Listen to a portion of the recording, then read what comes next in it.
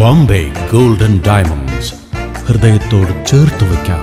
കഥകളിയുടെ നടന വൈഭവങ്ങളുമായി ആസ്വാദകരെ വിസ്മയിപ്പിച്ച കോട്ടയ്ക്കൽ ചന്ദ്രശേഖര വാര്യർ ഇനി ഓർമ്മ.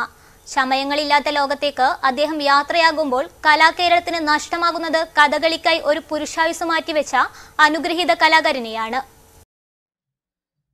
വിദ്യാർത്ഥി നടൻ പരിശീലകൻ സ്ഥാപന മേധാവി കഥകളിക്കായി ജീവിതം ഒഴിഞ്ഞുവെച്ച കോട്ടക്കൽ ചന്ദ്രശേഖരൻ ചമയങ്ങളില്ലാത്ത ലോകത്തേക്ക് യാത്ര പറയുമ്പോൾ പകരം വയ്ക്കാനില്ലാത്ത ആശാനും ആചാര്യനുമായിരുന്നു അദ്ദേഹം. കത്തി പച്ചവേഷവുമായി അരങ്ങിലെ ആട്ടവിലക്കിലെത്തുന്ന രൂപം ഏവർക്കും ആസ്വാദ്യകരമായിരുന്നു ഭീമസേനൻ കർണൻ നളൻ ദുര്യോധനൻ ബാഹുകൻ ഗീചകൻ തുടങ്ങി ഒട്ടേറെ വേഷങ്ങൾ കോട്ടക്കൽ ചന്ദ്രശേഖരൻ അരങ്ങത്തെത്തിച്ചു.